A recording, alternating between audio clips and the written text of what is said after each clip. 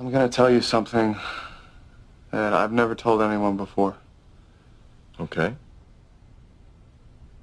I'm a serial killer. I'm Dexter, and I'm not sure what I am. Hi, Dexter.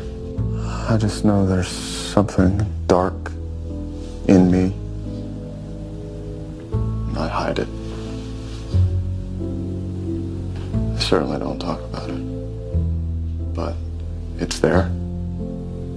Always. This dark passenger. And when he's driving, I feel alive. Half sick with the thrill, the complete wrongness. I don't fight him. I don't want to. He's all I've got. Nothing else could love me. Not even. Especially not me. Or is that just a lie the dark passenger tells me?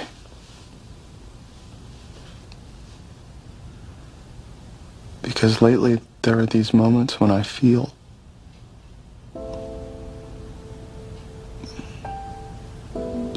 connected to something else, someone. It's like the mask is slipping. And things, people who never mattered before are suddenly starting to matter.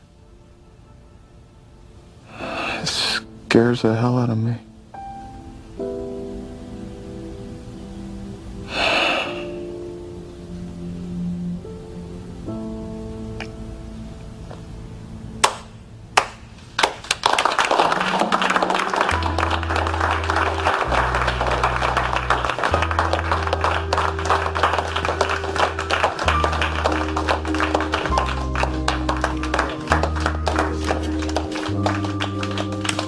Hello, Dexter.